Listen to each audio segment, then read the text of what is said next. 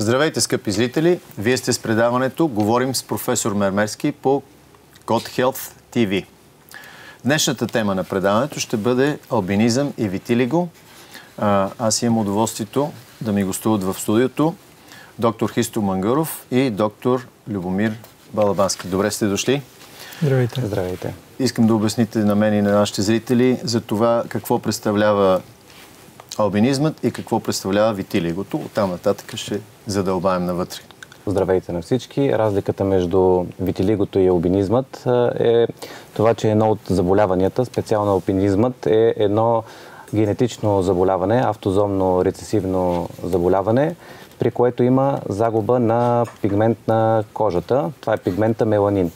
При витилигото отново има загуба на пигмента меланин, но състоянието не е задължително да бъде а, генетично. Някъде около 7% от а, а, случаите а, заболяването е а, с генетична предиспозиция. Тоест, а, ако майката или бащата имат а, а, витилиго, не е казано, че а, и детето ще има витилиго. Някъде около 7% е шансът това да се случи. 7%? 7%. Казахте, че е рецесивно. С други думи, и майката и бащата трябва да го носят, за да се получи, да се е, прояви при детето. Това е за албинизмът. Иначе да. за витилигото е много малка вероятността да се прояви някъде около 7%. А каква е частотата при албинизма? Колко често се проявява? Ами при албинизмът може да се случи така, че и майката, и бащата да имат носителството на гените за албинизъм, но може това нещо да не се прояви при детето. Обаче, ако в а, а, техният а, генетичен код някъде в семейството някой е имал а, тези гени, това може да се прояви при а, децата в, а, при някои от децата. Тоест и двамата родители трябва да имат някъде в а, а, генетичният код а, в, а, по семейно-родствена линия а, някой с а, тези гени на а, албинизъм. Така.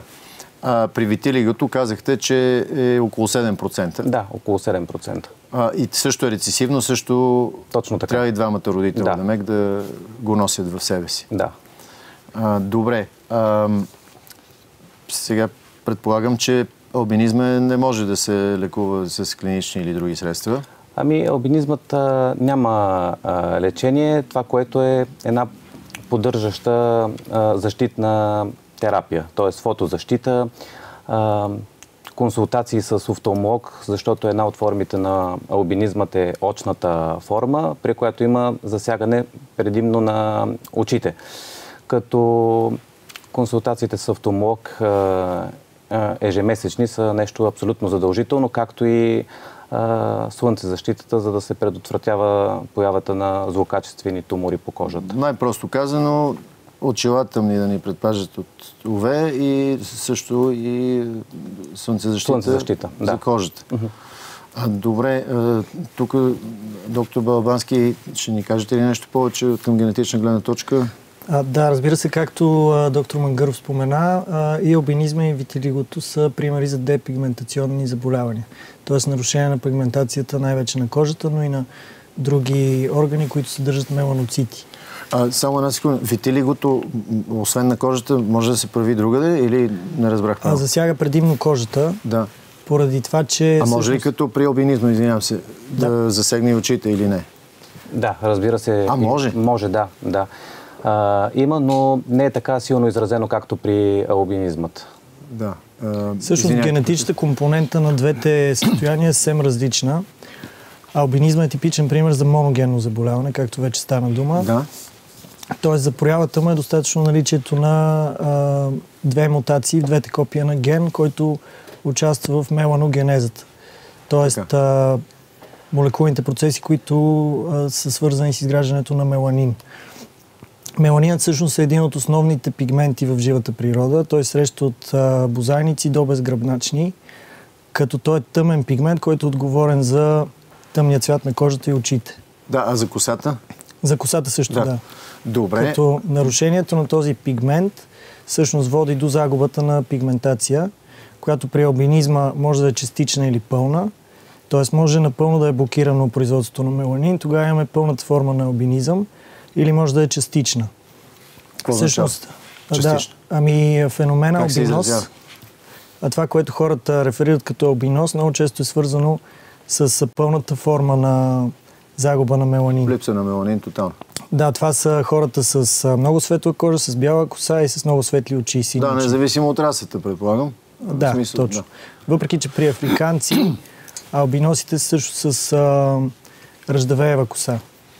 Тъмно рус. А т.е. някакъв, някакво количество меланин имат. Да, Все тъй пак. като там а, пигментацията все пак е по-комплексен процес поради тъмния цвят на кожата. Има и други пигменти при тях, така че пълната загуба на меланин не води до типично белия цвят на косата при а, албиносите от евразийската раса. Така, а, а статистически как стоят нещата от към а, расова и полова, расов и полов признак? Значи- Има ли а, по-голяма инцидентност? А, да, а, всъщност инцидентността на заболяванията варира в различните популации, както по-голяма част от заболяванията по света. Специално при а, европейската раса, а, частотата на витилиго е 0,4%. По последни проучвания това значи, че един на 250 човека го има и го проявява. Така. А албинизма е по-рядко. Един на 17 до 20 хиляди души е албинос. Това е сред европейската Да. раса. Така. А, сред другите имаме ли сравнителни статистики? Сред другите варира. Значи в някои, по, е, в някои популации с по-голямо кръвосмешение частотата на албинизъм е по-висока, тъй като, както стана дума, това е автозомно рецесивно Рецесивно, заболяване. да. А, добре, Тоест, а, чисто генетично да обясна, за да се прояви автозомно рецесивно заболяване, е необходимо да се унаследи един дефект от майката и един дефект от бащата.